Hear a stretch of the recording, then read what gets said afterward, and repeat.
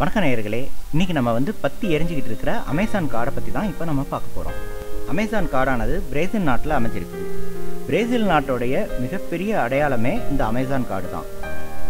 உலகின் நுரையீரல் என சூழலியல் வல்லுநர்களால் வர்ணிக்கப்படும் அமேசான் காடு இந்த பிரேசில் நாட்டில் தான் இருக்குது இதுவரை மனிதர்களின் காலடியே படாத நிலம் கூட இந்த மலைக்காட்டில் தான் உள்ளது.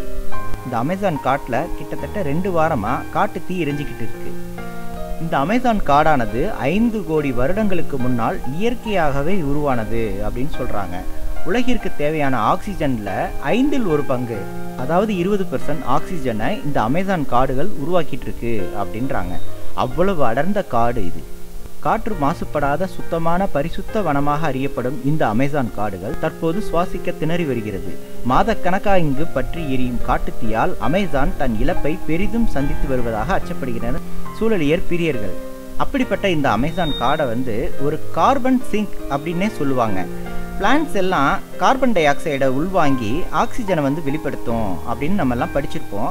அமேசான் காடு வந்து உலகத்தில் முப்பதுலேருந்து முப்பத்தைந்து பெர்சன்ட் கார்பனை வந்து உள்வாங்கி அதுக்கேற்ற மாதிரி ஆக்சிஜனை வந்து உருவாக்கி கொடுக்குதான். அப்படிப்பட்ட காடு தான் இப்போ வந்து அழிஞ்சுக்கிட்டு இருக்கு. இந்த அமேசான் காட்டில் மழை விழுந்தா அந்த துளிகள் வந்து மண்ணை வந்து அடைய வந்து பத்து நிமிஷம் டைம் எடுத்துக்குமா. அந்த மலை துளிகள்லாம் வந்து இலைகளில் பட்டு பட்டு மண்ணை வந்து அடையிறதுக்கு அவ்வளோ நேரம் எடுத்துக்குமா? அவ்வளவு அடர்த்தியான காடு இந்த அமேசான் காடு. இந்த காட்டுக்குள்ளே நடந்தா நம் மீது சூரிய வெளிச்சமே படாதான் அந்த அளவுக்கு அடர்த்தியான காடு இந்த அமேசான் காடு. இந்த காட்டில் பல அரிய வகை உயிரினங்கள்லாம் இருக்கு அப்படின்னே சொல்றாங்க. இப்போ வரைக்கும் பெயரே தெரியாத மரங்கள். நம்மளால கண்டுபிடிக்க முடியாத நம் கண்ணிலிருந்து மறைந்து வாழக்கூடிய உயிரினங்கள். நமக்கே தெரியாத பறவை இனங்கள். நமக்கே தெரியாத விலங்குகள். இப்படி நிறைய அமேசான் காட்டுக்குள்ள இருக்கு அப்படின்னே சொல்றாங்க.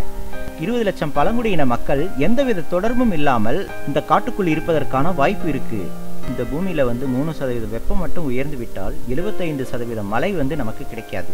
அமேசான் காட்டுக்குள்ள ஓடக்கூடிய ஆறு வந்து உலகின் மிகப்பெரிய இரண்டாவது ஆறு இந்த காடு வழியாக சென்று கடலில் கலக்கிறது. கடலில் கலந்த இடத்தில் அந்த தண்ணீரை எடுத்து குடித்தால் உப்பாக இருக்காதாம்.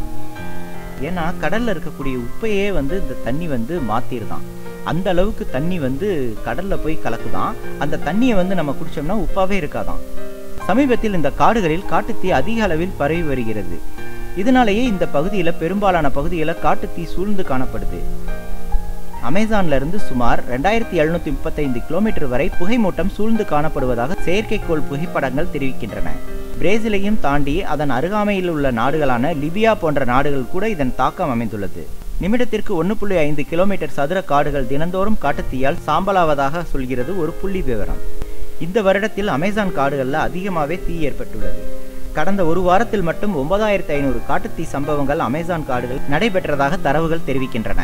இது குறித்து பிரேசிலின் விண்வெளி ஆராய்ச்சி மையம் அறிக்கை ஒன்றை வெளியிட்டுள்ளது. அதில் இந்த ஆண்டு மட்டும் அமேசான் மலைக்காடுகளில் எழுபத்தி ரெண்டாயிரத்தி எண்ணூத்தி நாற்பத்தி மூணு முறை காட்டுத்தீ ஏற்பட்டுள்ளதாம். இது கடந்த ஆண்டு ஏற்பட்டதை விட எண்பத்தி மூணு சதவீதம் அதிகம் என கூறப்பட்டுள்ளது. நாசா விண்வெளி ஆராய்ச்சி மையத்தின் அறிக்கையும் இதை உறுதி செய்வதாக உள்ளது. இயற்கையின் அடிப்படை விதியின்படி மலைக்காடுகளில் எளிதில் காட்டுத்தீ உருவாகாது. அப்படி தீப்பற்றி எரியணும்னா எரிபொருள் காற்று ஆக்சிஜன் இவையெல்லாம் ரொம்ப அவசியம். இந்த மூணு இருந்தால்தான் காடு வந்து தீப்பற்றி எரிய வாய்ப்பு இருக்கு. இயற்கையாகவே காட்டுத்தீ ஏற்பட்டா பூமியிலிருந்து ஒரு அஞ்சு மீட்டர் உயரம் அளவிற்கு மட்டும் உள்ள செடிகள் தான் அழிந்து போகும். பெரிய மரங்கள் வளர்வதற்கு சின்ன சின்ன செடிகள்லாம் வந்து இடைஞ்சலாக இருக்கும் அதனாலேயே இயற்கையாகவே காட்டுத்தீ உருவாகும். பெரும்பாலும் அமேசான் காடுகளில் ஜூன் ஜூலை மாதங்களில் மழை குறைவால் உண்டாகும் வறட்சியால் சிறிதளவு காட்டுத்தீ உருவாகுமாம். ஆனால் கடந்த மார்ச் மாதத்திலிருந்தே அமேசான் காட்டில் தீயின் தீவிரம் அதிகமாக இருப்பதாக சொல்கிறார்கள். உலகின் முழுவதும் ஏற்பட்டிருக்கும் பருவநிலை மாற்றமே இதற்கு காரணம். வெளியில் இருக்கும் புற உலகை நாம் முடிந்த மட்டும் எந்திரமயமாக்கி இருக்கிறோம். அமேசான் காடுகளில் உள்ள வளங்களை கொள்ளையடிப்பதற்காக பன்னாட்டு நிறுவனங்களின் சதியாகவும் இருக்கலாம் என சந்தேகமும் நிலவுகிறது. இது பற்றி பிரேசிலின் அதிபர் ஜெர்க் கல்பனாரு கூறுகையில் பிரேசிலின் பிரச்சனைகளை உருவாக்கி ஆதாயம் பெற என்ஜிஓக்கள் செய்யும் வேலைதான் இது என்று கூறியிருக்கிறார். எனினும் என்ஜிஓக்கள் உருவாக்கும் செயற்கை சீரழிவுதான் என்பதற்கு சரியான ஆதாரங்கள் எதுவும் இல்லை என்றும் அவரே கூறியிருக்கிறார். இப்படி பல கோணங்களில் விவாதிக்கப்பட்டாலும் இயற்கைக்கு எதிராக நாம் செய்யும் எந்த காரியமும் நமக்கு எதிராகவே திரும்பும். இது என்ஜிஓக்களின் வேலையோ பருவநிலை மாற்றத்தின் தாக்கமோ எதுவாகினும் அதற்கு நாமே பொறுப்பு. இயற்கையை சீரழிப்பதென்பது மனிதர்கள் தமக்கு தாமே வைத்துக்கொள்ளும் சுய கொல்லி அவ்வளவே. தொடர்ந்து இது போல வீடியோஸ் பார்க்குறதுக்கு கீழே இருக்க சப்ஸ்கிரைப் பட்டனை கிளிக் பண்ணுங்கள்